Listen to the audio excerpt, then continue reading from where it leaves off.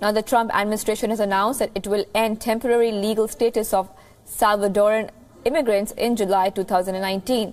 The decision could lead to the expulsion of more than 200,000 people, of many who are part of a humanitarian program that was granted after a series of earthquakes rocked El Salvador in 2001. This is the latest and most significant move by the Trump administration is a fight against temporary protected status and immigration program that allows immigrants to stay in the U.S. and work legally after their home countries are struck by natural disasters of war.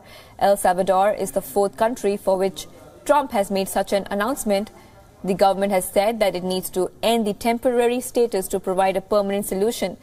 The decision comes as the Congress is negotiating continued protection for some 800,000 dreamers, the undocumented immigrants who were brought to U.S. as children.